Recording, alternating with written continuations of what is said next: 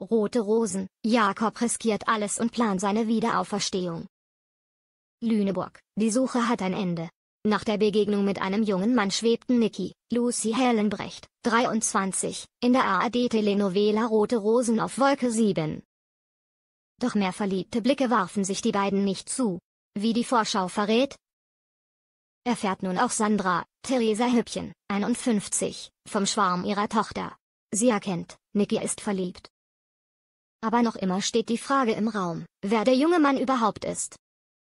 Nach Mias, Leonie Beutener, 20, Rat, auf dem Fußballplatz nach dem gut aussehenden Mann zu suchen, wird Niki tatsächlich fündig.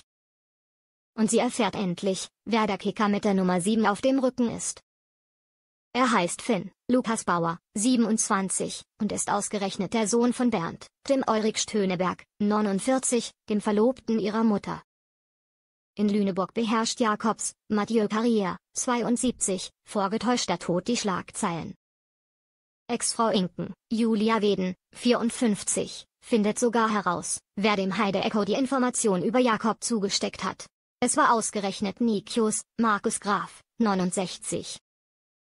Weil sie keinen anderen Ausweg sieht, versucht sie weiterhin mit der Hilfe von Britta, Jelena Mitschke, 44, und Amelie, Lara Isabel Rentink, 35. Jakob dazu zu bringen, Lüneburg zu verlassen und unterzutauchen. Doch daran hat er keinerlei Interesse. Jakob träumt vielmehr von einem Neuanfang mit alter Identität. Daher will er seine Tarnung auffliegen lassen. Ein riskanter Plan. Rote Rosen, Franzi bereitet ihren Abschied aus Lüneburg vor. Annette, Sarah Masuch, 44, findet endlich die perfekte Wohnung, aber es gibt einen Haken. Die Inhaberin ist Carla, Maria Fuchs, 47. und die beiden Frauen können überhaupt nicht miteinander. Wird Annette trotzdem den Zuschlag erhalten? David, Arne Rudolf, 32, sucht weiterhin vergeblich nach dem Passwort für sein Online-Konto mit der Kryptowährung. Er will die Strandbar nicht aufgeben. Franzi, Sophie Juncker, 25, plant unterdessen ihren letzten Abend in Lüneburg, mit David, Mia und Simon, Tourlütje, 29, in der WG. Die Rote Rosen Episode Der Junge mit der Nummer 7 3588 könnt ihr Montag um 14.10 Uhr im ersten und bereits vorab in der ARD Mediathek sehen.